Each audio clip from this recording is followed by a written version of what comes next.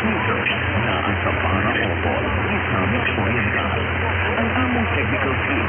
Edward Bautista Jr., Airway Network Engineer, with number 44403, Transmito Diode, First Tech Radio Council Operator, with license number 94